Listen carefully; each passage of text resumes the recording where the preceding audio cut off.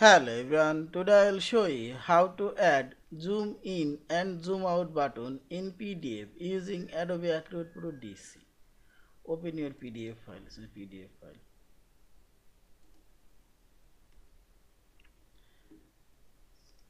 And select this tools option and scroll down. Here you will find this prepare form option, select.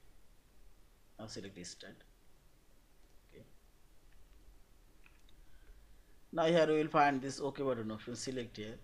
And draw your button area. This is here. And right click or properties.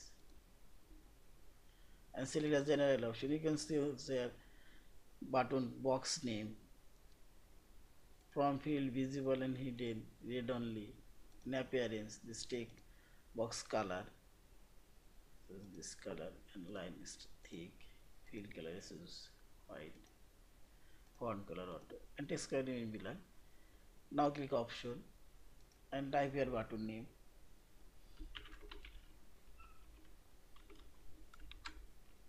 Zoom in. Now select your action. And select here execute a menu item. And select here add. And scroll down. Here you will find the zoom in option select and here zoom out? Also zoom in. Now close and select preview. And click on this button. Yeah zoom in. In the same way you can add zoom out button. Yeah.